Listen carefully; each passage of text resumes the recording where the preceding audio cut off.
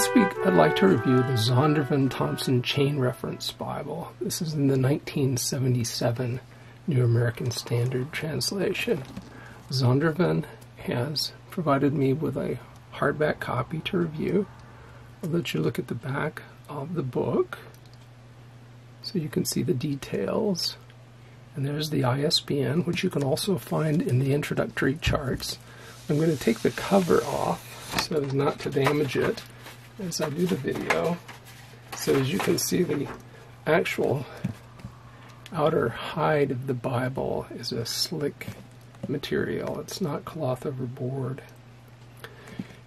The uh, volume is nine and a half inches tall, six and three quarters inches wide, and one and thirteen sixteenths inches thick. Here is a Kirkbride um, New American Standard Thompson chain reference, which I purchased in around 2009. And so I believe the newer edition in the hardback is slightly larger. The text block here is about two millimeters thinner than the old text block. But I actually like the paper here better. We'll look at those details a bit more later.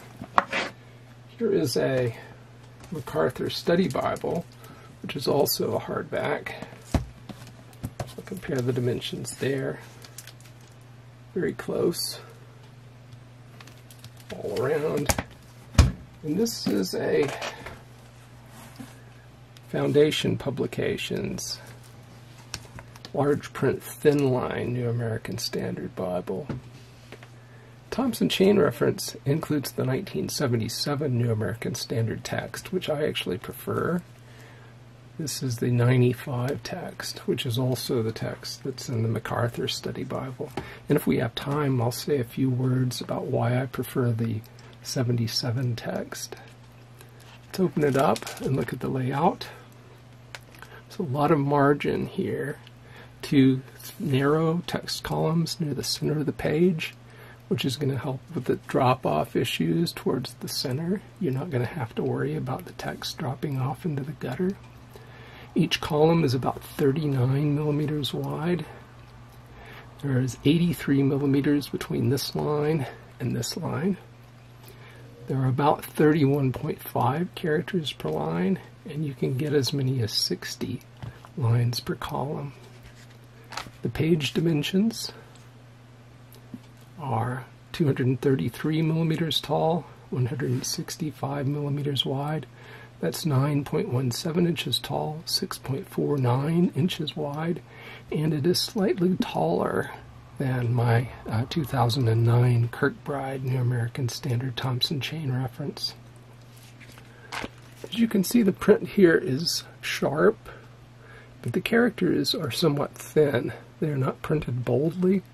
My understanding is that Zondervan is going to come out with a comfort print edition of this Bible at some point in the future, perhaps in a year, and it will be very interesting to see what that looks like. I measure the margins at the top to range between 11 and 16 millimeters, the inner margin, and that's I'm measuring from this line into the gutter, is as much as 39 millimeters. The outer margin ranges between 41 and 43, and at the bottom, from the bottom of a descender on the lowest line of text to the edge is 18 to 23 millimeters. The font in the text is advertised to be 8.3 points. Uh, when I compare it to Times New Roman, capitals look right at 9 points in height, as do the lowercase letters. This Bible font actually is proportioned similar to Times New Roman in terms of the ratio of height between uppercase and lowercase letters. Line height is 3.2 millimeters, so from baseline to baseline, that's 9.1 points, so it's nicely spaced. As you see, verse numbers are at the beginning of each verse in this verse by verse format Bible. This text is not line matched, and that's very easy to see. For instance, this line of text here is slightly offset from this here and in places that may cause a little confusion for your eyes. added words in the New American Standard Bible are in an italic font. Let's see if I can find some quickly here. Footprints, tracked with bloody footprints. So that word is supplied by the translators. And here, gone too far, but I want to show you that the words of Christ in this edition are in red ink. In the New American Standard Bible, pronouns for deity are capitalized. There are um, 100,000 or so references in the side column. They're printed in a 6.5 point font, and these point to the index of chain references in the back. We'll take a look at that later. The paper here has a sheet thickness of about 33 micrometers. I estimate the paper weighted around 30 GSM. It's a relatively matte surface, unlike the uh, the Kirkbride New American Standard Bible. The paper is relatively white. There's a faint gray tinge to it. There is some distracting show through here. Again, this text is not line matched. So let me show you page 319. So here we're at page 319 and I think you can see that the line of text on the opposite side of the page is pretty much lined up right between the two lines of text on this side and that creates quite a lot of distraction for the eye. The uh, print is somewhat non-uniform, although it's very mild here in the black ink. But if you move over to the red, you compare pages 1261 here with 1295. So here is um, page 1261 on the left compared to page 1295 on the right. 1261 is quite a lot darker than uh, 1295 over here. 1295 also illustrates a problem that you have when you're printing in red and there's black on the opposite side. I don't know how well you can see that, but the background seems almost smoky because of the black on the opposite side of the page. There are no book introductions in the Bible proper, but there are book introductions in the back, and we may see those later. Book titles are on the outside top of the page, as are the page contents. Page numbers are placed at the center bottom in the Thompson chain reference. There are headings at the inside top of the page, and then there are also headings down in the text. This uh, heading is about an italic nine point font. Uh, so there aren't multiple colors in this edition. Everything's in black, but you do have numerous headings. Chapters are divided by chapter number in bold. It's about a 9.5. It's all caps. First word in each chapter is also in bold caps. The New American Standard Bible prints quotations from the Old Testament when they appear in the New Testament in all capital letters. So here's one in Romans 11, 8, and 9. And you see in the margin it says parallel passage, Psalm 69, 22. It doesn't say it's cited from there, but at least that gives you a clue that that's a place to look. If you look elsewhere on the page, however, you'll see a quotation here in 11, 26, and 27 this is from Isaiah 59 and 27 in the Septuagint. And there's nothing in the margin there that tells you what the source of this quotation is. Since we're talking about these marginal notes at the moment, there's one here at um, 1129 that says there's a parallel passage in Deuteronomy 9:5. However, when you look here at Deuteronomy 9:5, you see nothing in the margin that points you back to Romans 1129 is a parallel passage. So there's something of an asymmetry there. In the Thompson Chain Reference Bible, the uh, smaller books, like all the other books as far as I can tell, each begin on a new page. So there's First John, starting on a fresh page. Second John, Third John, Jude, So after Revelation, you come to the Thompson Comprehensive Helps, which is in nine sections. The first section is the General Index, which is an alphabetical listing in a seven and a half point font, and it runs 28 pages, four columns. So if you want to know about a particular topic, you can find it here in an alphabetical listing and then look elsewhere in the material that follows to see all the citations. Sometimes a list of quotations, sometimes just a list of verses where that topic is discussed. So as I said, this runs for 28 pages.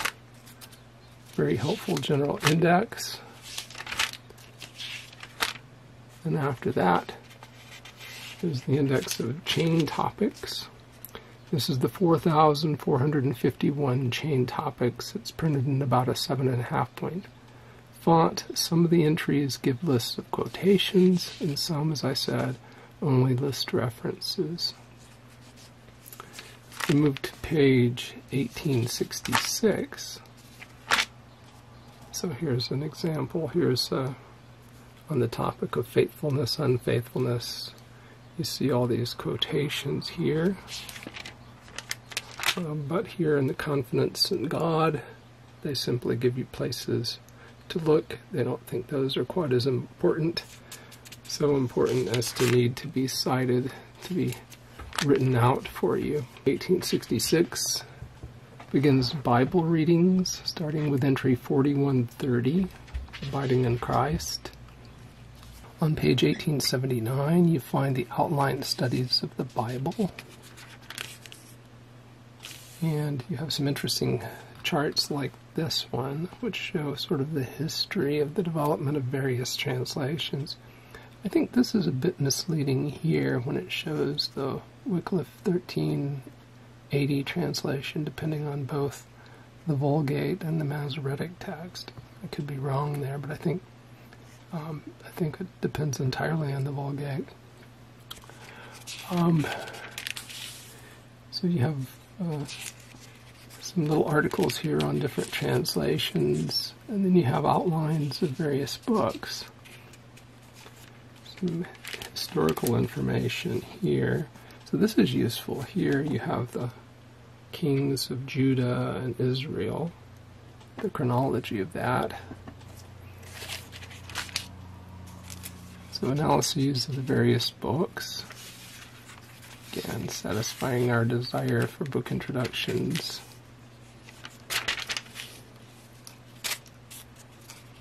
Coming forward is Amos, Luke,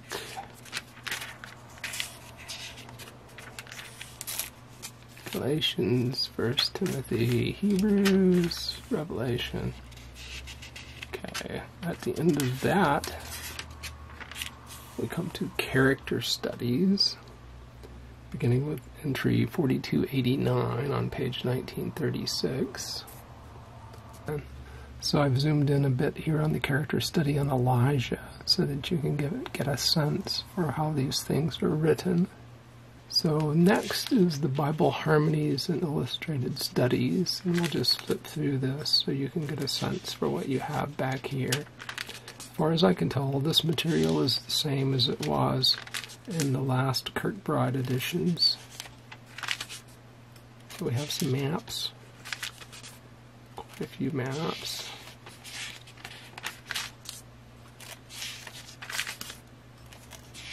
And after this section, we should come to the archaeological supplement.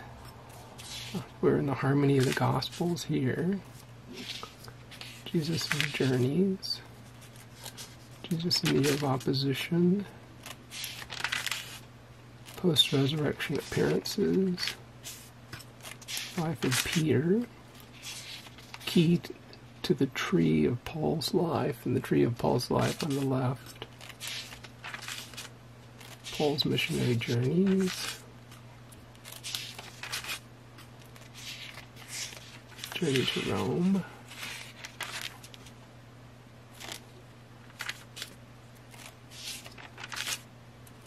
Topical Treasury. Helps for Christian workers, Christian workers' texts.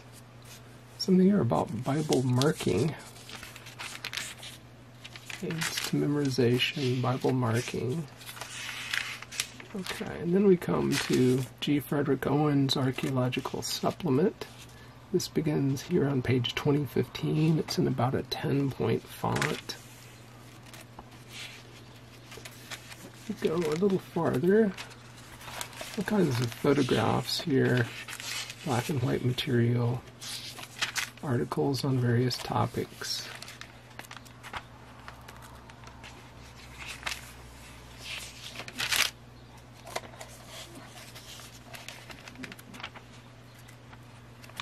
and then after that, on page 2090, you find the Hebrew calendar, which is quite useful to have here.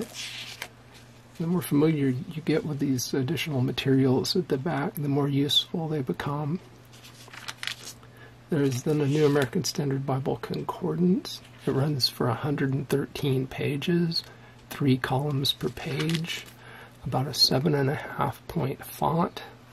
The main entries here are in bold, all caps. The context lines are each printed on a separate line, as you see here. And one thing, one thing that puzzles me, I think, from a utility point of view, is that uh, clearly this is much better than the old style that you'll find, say, in some of the older Cambridge and Oxford King James Version Bibles, where the uh, concordance is written sort of as a paragraph and the entries run one right after another in a paragraph format. And yet that seems to be the way we want to format our references at the bottom of the page these days, making them far less useful. At the end of the concordance, you come to the map index. This runs about 12 pages and two columns in a 9 point font. After the index to the atlas, you have a blank page, and then you have 14 color Kirkbride maps. They span 16 pages. They're moderately detailed. Paper is semi-gloss, but I think you can see some reflection there. It's not as shiny as some of these maps are. They do not go into the gutter. You can see the white here in the gutter at this page. The colorful, not a great deal of detail here on these maps. Here uh, you can see the stitching and the sewn binding, so clearly thread here, other one there. It's like maybe four lines of stitching.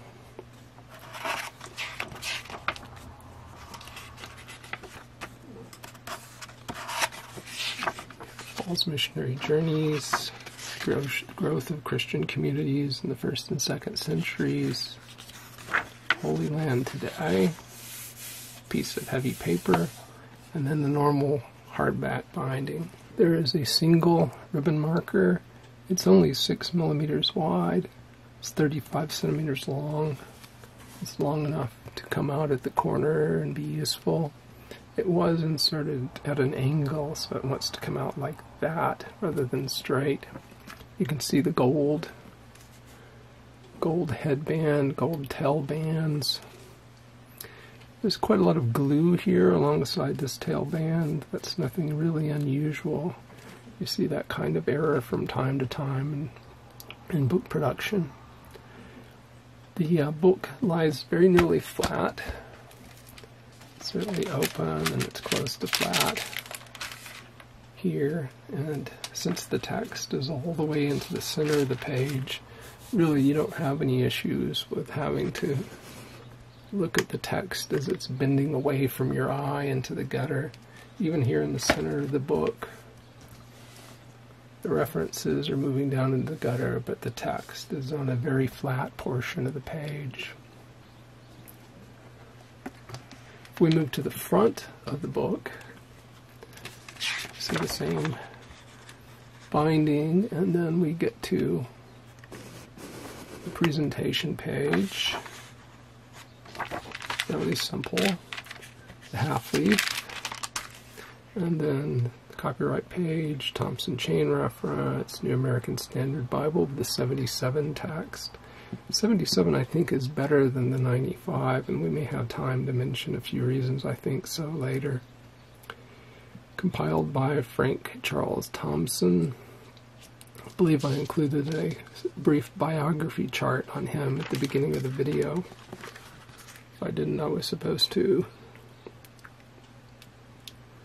And all this material, copyright 77 Lockman Foundation on the Bible itself. Uh, this is printed in the United States of America. First printing in 2021. We'll come to the contents. So this is all material at the beginning. Old Testament books. This is 66 book Protestant Bible. Comprehensive helps. We've already looked through. It's the index to the comprehensive helps. We have a foreword to the New American Standard Bible, preface, principles of translation, explanation of the general format, abbreviations, and special markings, then a preface to the Thompson Chain Reference Bible, the analytic and synthetic systems of Bible study described here. Let you pause this and read it if you like. Explanation of the margins and indexes and journey maps. The principal advantages of this Bible. And you come to the Old Testament. There's a graphic on this page, and you're in the book of Genesis. So here's a close up look at the font. It's sort of a standard font, nothing particularly striking about it, but it's uh, crisply printed. It's not quite as dark and bold as I would like, but it's certainly useful. There's uh, some places where the tracking is somewhat close, but no major issues. Line spacing, I think, is very nice.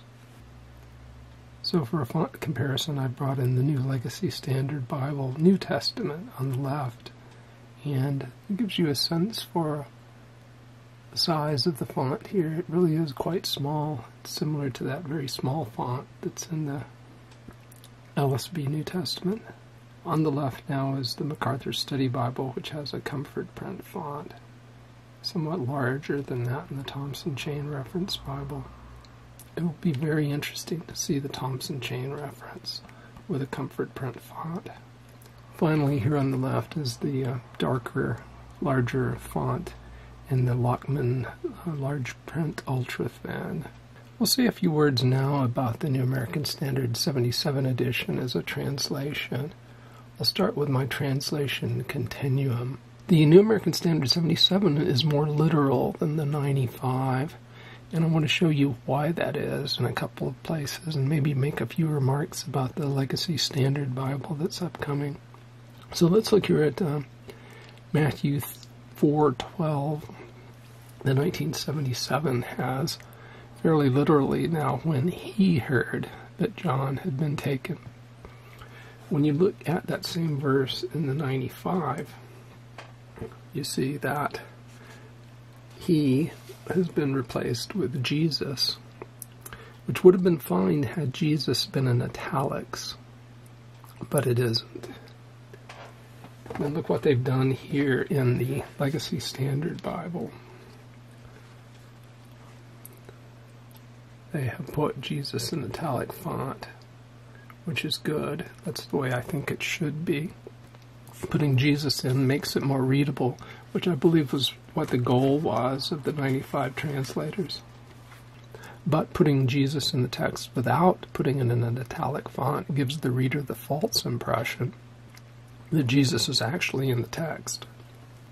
As a second example, look in the same chapter, but at verse 23.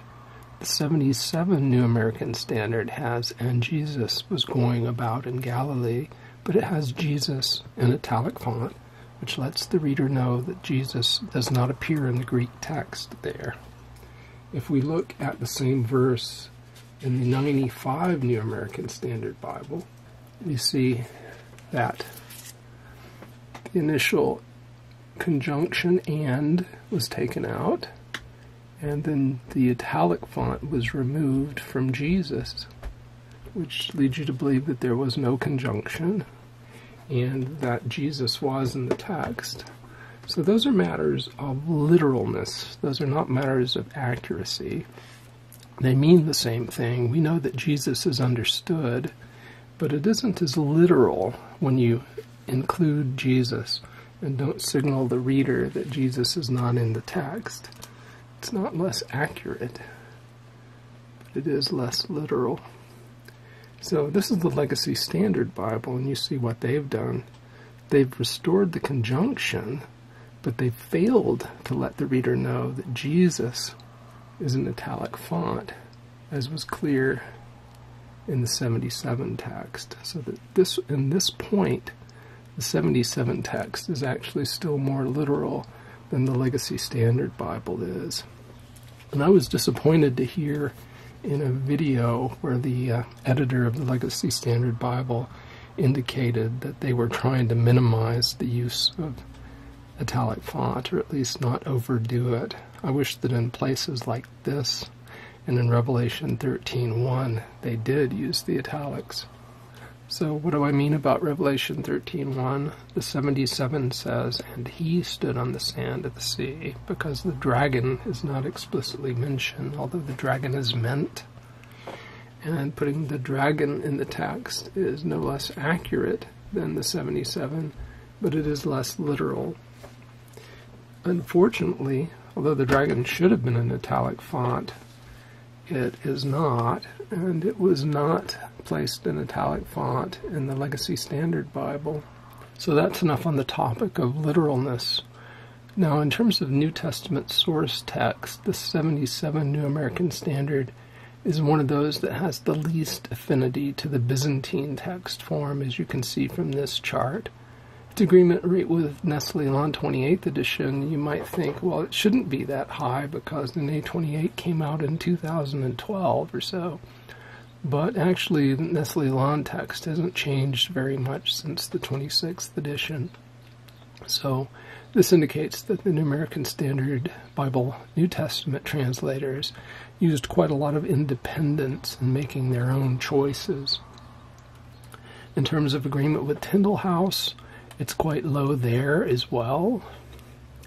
And then in terms of Westcott and Hort, it agrees with Westcott and Hort more than any other translation I've scored, more than the old American Standard Version, more than the old Revised Version.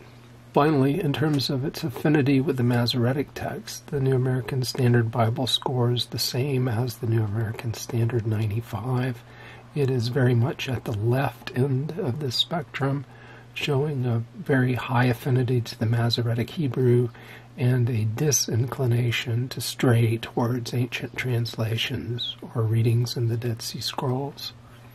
One other thing you should be aware of in terms of differences between the 77 and the 95 is that the 77 retains the archaic language when referring to God so here in Psalm, or when addressing God rather, so here in Psalm 22, it reads, My God, my God, why hast thou forsaken me? O God, I cry by day and night, but thou dost not answer. So it uses those older uh, pronoun forms and verb endings, like in the King James Bible. Personally, I prefer the 77 translation to the 95. I think the 95 was done with uh, an editorial philosophy of attempting to make the New American Standard more readable, to make it more competitive with the New International Version. And it just goes against the genius of the New American Standard Bible, which was to try to be as literal as possible, still in, in readable English. Uh, so by omitting all those conjunctions and by putting uh, proper names in the place of pronouns, they really did themselves a disservice I hope that uh, the Legacy Standard Bible changes its philosophy towards italics at least a bit and ensures that proper names and nouns uh, that are replacing pronouns are placed in italics, like the dragon. I hope that becomes an italic, the dragon, in uh, Revelation 13.1. I've always been a, a fan of the layout of the Thompson chain. I like narrow columns. I like the verse by verse format. I like the fact that the margins on both sides are wide. You can use them for note taking. Um, the text stays away from the gutter. It stays out on the flat portion of the page, which is uh, very nice from readability perspective. The problem, of course, uh, oh, let me say that I do like the paper in this most recent Zondervan edition better than in my older Kirkbride, principally because this paper is less shiny than that other paper. Um, on the downside, you don't have line matching yet. You don't have a deep, dark font, which would be preferable.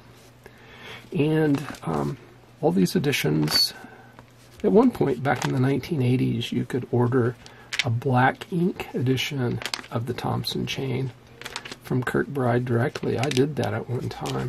I had an NIV Thompson that I've since given away that I had asked to have in black ink, and it was uh, superior, I think, to this, where you have issues with fading like this, where the ink gets lighter on the page. And you also have the black, black print on the opposite side of the page coming through.